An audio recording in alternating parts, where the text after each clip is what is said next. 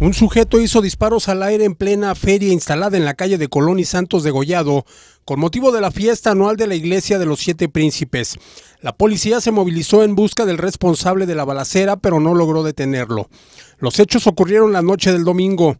Los asistentes a la feria dieron aviso a las autoridades. No se reportaron personas lesionadas. Con información de MBM Televisión.